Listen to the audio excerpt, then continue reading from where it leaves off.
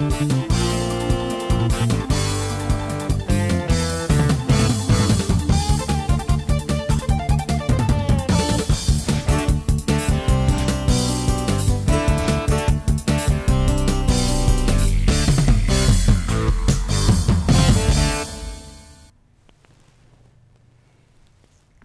chào quý khán thính giả của Bồ Đề Phật Quốc TV.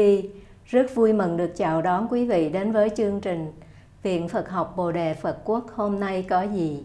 Kính thưa quý vị, vào thứ Bảy tuần qua, học viên lớp sơ trung đẳng Phật học đã được Sư Minh Lợi giảng kinh Na Tiên Tỳ Kheo và cô Tâm Nhật giảng kinh Tứ Thập Nhị Chương. Kính mời quý vị lắng nghe sơ lược nội dung các bài giảng sau đây.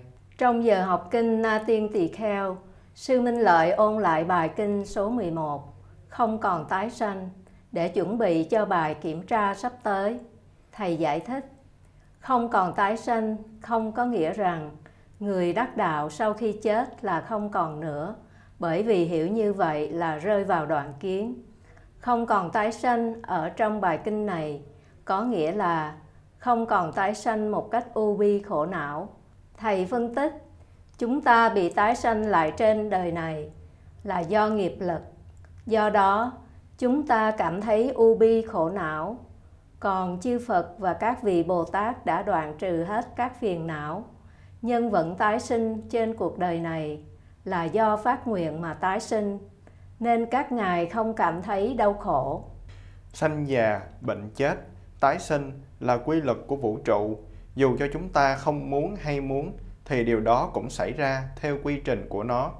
Thầy giảng rằng, quan trọng là chúng ta phải tu tập làm sao để trong đời này và đời sau khi chúng ta tái sinh lại thì bớt đi những nghiệp duyên xấu hoặc giảm bớt và không phải chịu quả báo xấu ở đời sau. Chúng ta thường lầm tưởng rằng các vị Phật và Bồ Tát không còn tái sinh, nhưng các ngài vẫn tái sinh lại theo nguyện lực. Ví dụ như có người hỏi Đức Phật Thích Ca bây giờ đang ở đâu. Nếu nói trên ấn thân và báo thân thì Phật đã chết, nghĩa là tứ đại trả về cho tứ đại. Còn nói trên pháp thân thì Phật đang ở trong mỗi chúng ta. Chẳng hạn như khi chúng ta đem các trang sức bằng vàng như là vòng, nhẫn, dây chuyền, bỏ chung vào nồi nấu, thì bản chất của vàng khi nấu chảy ra là đều như nhau. Như vậy gọi là có tái sinh. Khi chúng ta nhận thức được thì gọi là giải thoát tri kiến. Thầy giảng, để xác định được chúng ta không còn tái sinh theo cách u bi khổ nữa, thì phải dựa trên kiến hoặc và tư hoặc. Kiến hoặc gồm có 6 phần, tham, sân, si, mạng, nghi, ác kiến. Rồi từ ác kiến chia thành 5 phần, thân kiến, biên kiến, tà kiến, kiến thủ, giới cấm thủ, gọi là tư hoặc đây là cây thước xác định chúng ta tu đến mức độ nào. Thầy nhấn mạnh rằng ngoài cây thước này không còn cây thước thứ hai nào để xác định chúng ta tu đến mức độ nào. Nói cách khác, chúng ta tu bất cứ tông phái nào hay pháp môn nào, nhưng nếu không thay đổi mình hay không loại trừ kiến hoặc và tư hoặc, thì chúng ta không tu đúng đường lối của Đức Phật Chúng ta tu tập nhiều, tụng kinh nhiều, ngồi thiền nhiều, nhưng phải xác định xem phiền não mình còn nhiều hay không. Nếu chúng ta loại trừ bỏ chúng lần lần, thì chúng ta có an lạc và hạnh phúc. Trong giờ học kinh Tứ Thập Nhị Chương, cô Tâm Nhật đã giảng chương 32 có tên là Trừ ngã không còn sợ. Bài kinh có nguồn gốc xuất xứ từ Kinh Pháp Cú, kệ 112 đến 116 Nội dung của chương này nói rằng ái dục là nguyên nhân dẫn khởi sầu ưu và từ đó đưa tới mức độ tâm lý nặng hơn là sợ hãi. Cô phân tích tài sắc, danh thực thùy là mình sinh tâm tham luyến. Nếu mình không chiếm hữu được thì sẽ trằn trọc, sầu ưu và đau khổ. Nhưng khi ta sở hữu được rồi thì lại sinh tâm sợ mất. Nói cách khác, dù là có được hay mất chúng ta đều sống trong tâm trạng sầu ưu, sợ hãi. Tóm lại, nếu chúng ta thuận theo dòng ái dục của thế gian, thì sẽ đi theo con đường khổ đau và sinh tử luân hồi. Ngược lại, nếu chúng ta thuận theo dòng thánh, thì sẽ không có khổ đau và đưa tới giải thoát, giác ngộ. Tiếp theo, chương 33 có tên là Trí Sáng Phá Tà Ma. Ở chương này, Đức Phật đã ví người tu hành như là một chiến sĩ chiến đấu để hàng phục ma quân. Trong đó ma quân là ái dục hoặc là những gì làm chướng ngại đạo hay con đường tu tập. Cô phân tích có bốn dạng người chiến sĩ. Một, hàng ý chí khiếp nhược, chưa đánh đã thua, không có lý tưởng và niềm tin. Khi chỉ nghe tới sắc đẹp của người khác phái mà chưa gặp gỡ, thì tâm họ đã bị dao động và liền bỏ đi lý tưởng tu hành của mình.